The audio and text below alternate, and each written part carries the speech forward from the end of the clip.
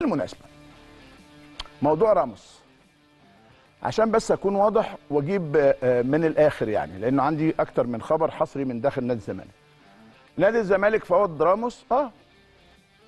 وأنت مش كنت بتقول أو ما مش عارف إيه. طب خليني أقول لك الآخر يعني. تيجي يا راموس تلعب في مصر قال لهم مصر فنزويلا أي مكان. أنا ما عنديش مشاكل خالص.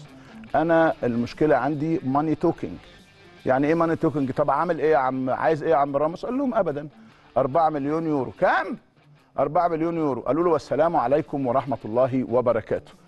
كلام مع وكيل لاعبين. وكيل لاعبين قال لهم الراجل عايز كذا. موافقين ولا مش موافقين؟ فقالوا له أنت أكيد بتهرج. تعرف تتكلم 4 مليون يورو يعني فوق ال 200 مليون جنيه في موسم واحد. فالراجل آه، أو الناس في نادي الزمالك طبعا الموضوع انتهى. بس بقى دخل وكيل لاعبين ودخل مش عارف إيه وقصة إيه وحدوتة إيه لكنه ده موضوع راموس بالتحديد.